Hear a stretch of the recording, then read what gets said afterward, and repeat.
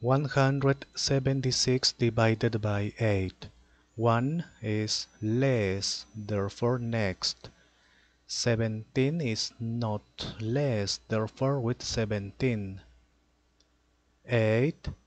Multiply by which number is nearest to 17, but not greater. 8. Multiply by 3. 24. 24 is greater multiply by 2, 16. 16 is not greater.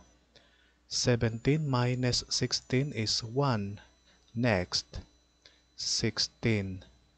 8 multiply by 2, 16 is not greater. Okay. 16 minus 16, 0. Next, there is not number, therefore finish it.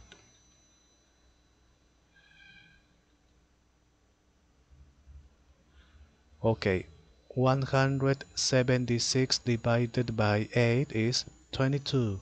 Okay,